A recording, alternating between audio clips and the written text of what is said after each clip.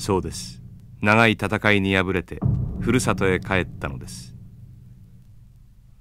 この音は今湖底に沈みゆく山あいの村にこだまする私のダムの工事場の音です。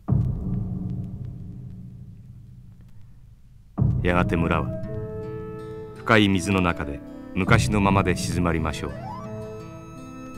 とわに私もその中に沈めたい思いでいっぱいです。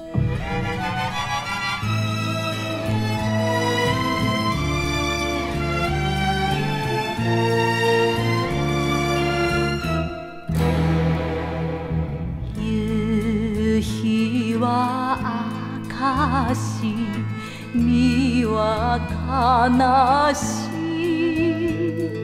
い涙は熱く頬ぬらす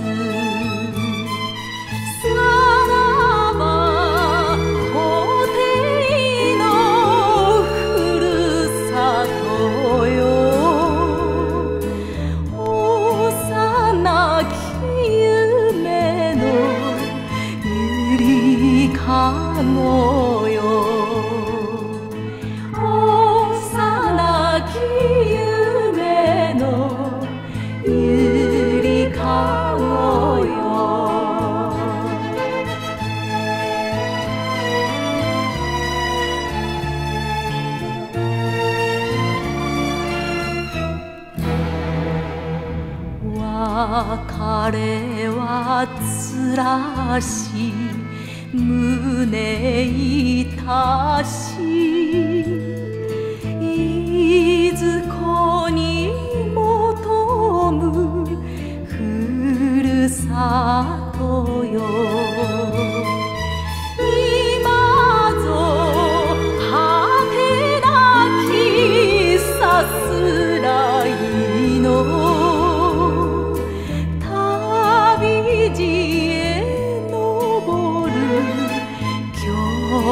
の